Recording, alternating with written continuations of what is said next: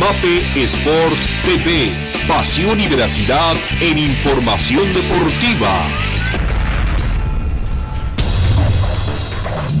Como parte de la expansión de equipos para la temporada 2018-2019 de la Liga Nacional de Baloncesto Profesional, este viernes el ingeniero Alonso Izaguirre López, comisionado general del circuito, anunció el ingreso del Club Leopardos de Yucatán. Es una serie de evaluaciones que se tiene que hacer. Eh, definitivamente eh, buscamos eh, expandernos en ciudades que tengan un mínimo de, habitantes, que las instalaciones deportivas sean acorde a lo que se, a lo que se necesita, a lo que se pide. Eh, y se hace la evaluación y si los equipos o las solicitudes de las cartas de intención que nos llegan, que son bastantes, eh, cumplen con los requisitos, digamos que se va avanzando en el proceso, ¿no? El Club Leopardos de Baloncesto nació en Yucatán en el año 2008 y ha trabajado principalmente con los niños y jóvenes, además de competir en la primera etapa de la Liga del Sureste. Por su parte, la Liga Nacional de Baloncesto Profesional, que en el 2006 llegó por primera vez a Yucatán con el equipo de los Mayas, se encuentra actualmente en un proceso de evolución y pretende pasar de 12 quintetas a 16 equipos para la temporada del próximo 2018. Al 100 habría que eh, evaluarla a detalle, pero definitivamente el Poliforum es el que, el que más cumple con, los requisitos que, se están pidiendo. En el anuncio oficial del ingreso de los Leopardos a la Liga Nacional, su presidente, Denton Medina Achach, confirmó la compra de la franquicia y anunció que el primer evento será un tryout el 2 de julio en el gimnasio polifuncional, que junto con el Polifront Samna serán las sedes del equipo.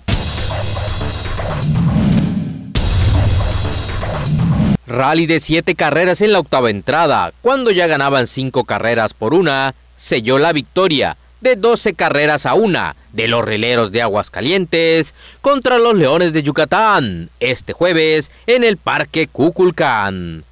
Rieleros de Aguascalientes tuvo en su abridor Johan Flane una buena labor de picheo, ya que en siete entradas solo aceptó una carrera y ponchó a seis melenudos.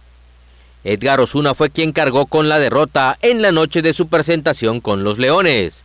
En cinco actos aceptó cuatro carreras y permitió seis imparables. Con la pizarra 5 por 1 favoreciendo al equipo del Riel, en la octava entrada Yucatán vio no lo duro, sino lo tupido al aceptar siete registros. Por tres a Oaxaca. Correcto, Eval imparable. Una carrerita más aquí para el conjunto del Riel. Ya está estos seis carreras a una.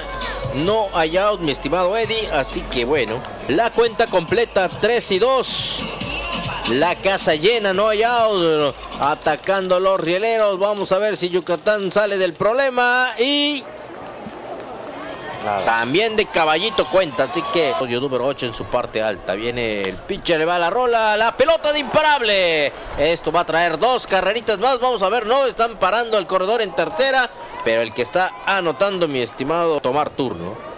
Batazo, otra línea de imparable. Esto sí va a traer dos carreritas más al primer lanzamiento. Le pesca Doña Blanca. O tres, Ahí o tres. Otra más todavía. Va a hacer las colchonetas. El corredor para la tercera. Vamos a ver si lo van a pescar. Sí, finalmente lo están pescando ya en la tercera colchoneta. Pero bueno, no importa porque ya vació las colchonetas Julián Castro.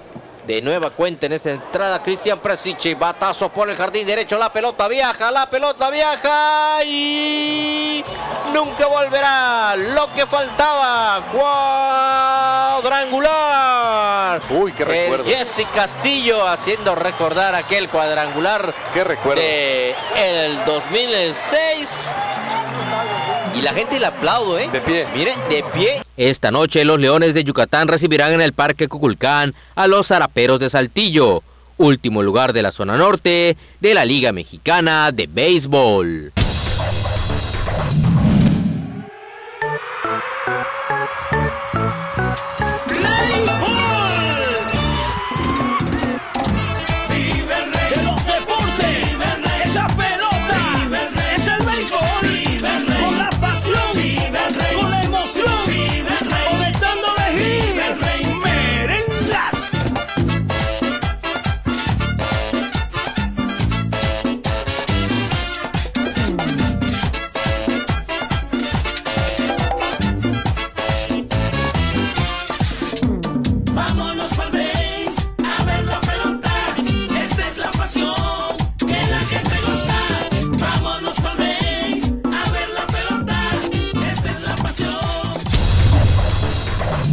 Con un plantel de 39 jugadores y 11 integrantes del cuerpo técnico, se presentó la selección Yucatán de fútbol americano, que buscará asistir al torneo nacional Under 17, que tendrá lugar del 17 al 22 de julio en Chihuahua. Se ha conformado la, primera selección eh, Under 17, eh, jóvenes menores de 17 años, que participará en, en un campeonato nacional. Este campeonato nacional es el segundo que se hace este, en el país y pues va a ser un evento que año con año se va a estar llevando a cabo en diferentes sedes del país. Prácticamente los equipos que conforman la selección son los dos equipos más grandes del estado, que son los Lobos ITM del Instituto Tecnológico de Mérida y los Tigres de Mérida. Eh, ellos dos este, conforman la, la selección. Los 39 jugadores seleccionados pertenecen a dos de los equipos de mayor tradición de fútbol americano en Yucatán los Tigres de Mérida y los Lobos del Instituto Tecnológico. La meta no es fácil, pero pues es parte de la filosofía del fútbol, que hay que trabajar sobre objetivos, a superar la adversidad y confiamos que eh, con la ayuda de todos ustedes vamos a alcanzarlo. Eh, estamos recaudando fondos ya que el deporte como tal, el fútbol americano, no se encuentra dentro, eh, digamos, dentro del presupuesto tal cual por la disciplina, por el tipo de disciplina y es totalmente entendible, ¿no? Y por tanto los fondos y los recursos tienen que salir de la bolsa de los padres de familia, lo que es viaje, hotel, alimentación, uniforme, para representar una manera digna a nuestro Estado. Daniel Sosa, coach de los Lobos, y Carlos Cardona, coach de los Tigres, enfatizaron en la conferencia de prensa que el evento Under 17 es un torneo histórico, ya que por primera vez una selección de Yucatán de fútbol americano busca participar en un campeonato nacional.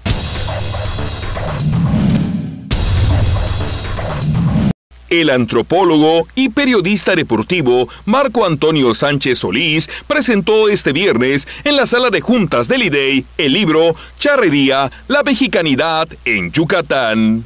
El deporte es un deporte muy interesante. El hecho de que incluya la mexicanidad a partir de la charrería es muy interesante, sobre todo en un estado donde estamos muy apartados del resto del país, donde el estado funciona en forma distinta y eso nos hace eh, tomar la idea de entender el cómo funciona la charrería en un estado donde no es propia la charrería, de, es un gusto adaptado, un gusto adquirido que viene muy posterior al resto del país. Con un tiraje de 100 ejemplares y en una reseña dividida en 18 temas, el autor narra la evolución del llamado deporte nacional en Yucatán. Le agradezco al gobierno del estado el haberme apoyado, a los entrevistados también haberme apoyado con, con esto. Van a, la gente que lo adquiera, que lo lea, va a entender cómo funciona la charrería tanto a nivel nacional como a nivel local. En la presentación oficial del libro estuvieron presentes, además del autor, el director del IDEI, Juan Sosa Puerto, el comunicólogo Hugo Peniche Rosas y Tomás Gómez Soto. ¿Sabes de qué te puedes enterar en 15 minutos? Mario Peniche y Antonio Lizama te esperan de lunes a viernes a partir de las 3.45 en 13 del Juego Informativo a través de 13 Edición, la imagen de nuestra gente.